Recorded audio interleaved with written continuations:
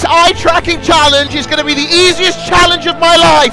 And I will prove to all the other men in chat that we don't need to look at boobs. We can look at people for who they are. Me, Greek God X, I will represent all men in the chat. And I will not look at a single boob. And I will not look at a single butt in this video. Let's go!